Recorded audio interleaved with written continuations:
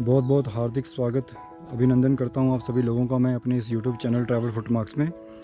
Friends आज मैं आया हूँ देवभूमि के नाम से विख्यात हिमाचल प्रदेश में।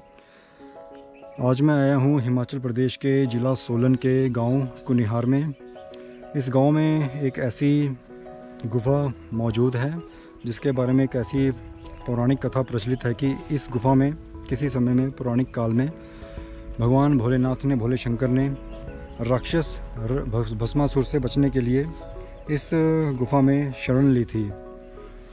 और साथ ही साथ मैं आप सभी को ये भी बताना चाहता हूँ कि इस गुफ़ा में कुछ इस प्रकार की प्राकृतिक चट्टानें बनी हुई हैं जिनका आकार गाय के थनों के आकार का बना हुआ है और इन थनों से किसी समय में दूध की धारा जो है बहा करती थी। लेकिन अभी इस मौजूदा समय में, अभी की अगर मैं बात करूँ तो उन चट्टानों से सिर्फ़ जो है, प्राकृतिक जल जो है, वो निकलता है, बहता है, जिससे कि भगवान भोलेनाथ के शिवलिंग पर जलाभिषेक होता है। तो चलिए, मैं आपको लेके चलता हूँ इस प्राचीन गुफ़ा की तरफ़। इस गुफ़ा का नाम है शिव तांडव गुफ़ा। मैं आपको दर्शन करवाता हूँ इस शिव तांडव गुफ़ा के। सुंदर दृश्य दिखाता हूँ। तो फ्रेंड्स, अभी मैं खड़ा हूँ इनके साथ रामचंद्र जी के साथ। ये यहीं के लोकल गाँव के रहने वाले हैं। ये नहीं, नहीं, मेरे को तो यहाँ ऐसे गुफा में पच्चीस साल हो गए थे मैं तो अंदर सोता था खाना पीना अंदर होता था ओके ओके ओके ठीक है ठीक है। तो इस गुफा के बारे में क्या प्राचीन जो इसकी कथा है उसके बारे में आप थोड़ा बताएँगे क्या है इसकी प्राचीन कथा? जो है ना जी पहले से पहले यहाँ पे जंगल होता था बिया ठीक और यहाँ अंदर जाते थे नीचे को कुआँ होता था बहुत गहरी होती थी। इसमें सत्तर अस्सी गाड़ी पत्थरों की फेंकी हुई है। इसका भरान किया हुआ। फिर जैसे हम एंट्री करते करते गुफा में तो सामने हमारे को शेषनाग जी दिखते सामने से भस्मासुर से रिलेटेड जो कहानी है वो क्या है? ये जब कभी भस्मासुर को भस्मासुर भगवान शिव जी भगवान ने भस्मासुर को वरदान दिया था तब भोलानाथ जी यहाँ पे छुप गए थे आगे। ठीक है। तो छुपने से तो छुप जब छुप गए थे तो उनका जो है सामने से भोलेनाथ जी दिखते नहीं यहाँ। जब एंट्री होती गुफा में तो सामने से दिखते वरदान देने के बाद क्यों छुप गए भोलेनाथ यहाँ पे? भस्मासुर दौड़ा हुआ था ना वो जो है वरदान दे उन्होंने ऐसा वरदान मांग लिया था जिसके ऊपर जो तो उसके उनको भस्म कंगना था उसके पास। वो उसके ऊपर फेर देंगे वो राख हो जाना था। अच्छा जिस पे भी हाँ, हाथ रखेगा हाँ, भस्म हो जाएगा। हाँ, तो उसने भोलेनाथ पे हाथ हाँ, रखना चाहा। हाँ रात हाँ, तब वो भाग गए थे गुफा में छुप गए थे। छुपते छुपते ऐसी गई गुफा बनी हमारे हिमाचल में। ठीक है और और श्रीखंड महादेव के साथ ऐसी गुफा वहाँ पे उसको चढ़ाया गया था। अच्छा हिमाचल की ही गुफाओं में छुपते छुपते हाँ, वो हाँ, यहाँ भी आए हाँ, और श्रीखंड महादेव भी गए। वहाँ पे एक गुफा नीचे वहाँ पे उसको जलाया गया था। भगवान विष्णु ने मौनी रूप धारण किया था। ठीक है ठीक है ठीक है। और उस वजह से जलाया गया था। भस्मासुर तब जला गया जलाया था।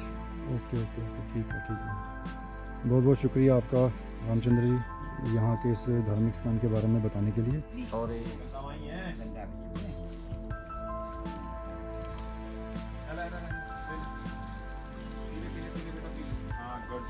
बस।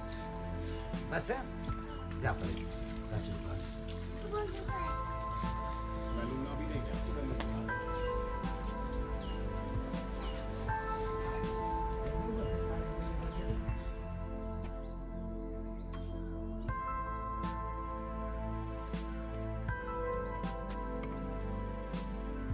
तो ये आप देख सकते हैं फ्रेंड्स, मैं अभी उस शिव तांडव गुफा की तरफ़ जा रहा हूँ। ये रास्ता जो है उसी शिव तांडव गुफा की तरफ़ जा रहा है।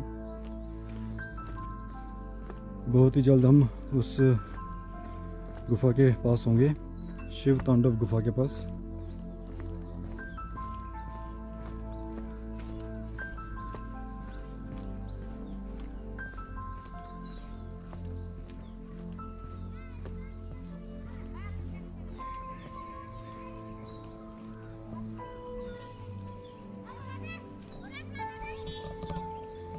ये बिल्कुल सामने आ गई है friends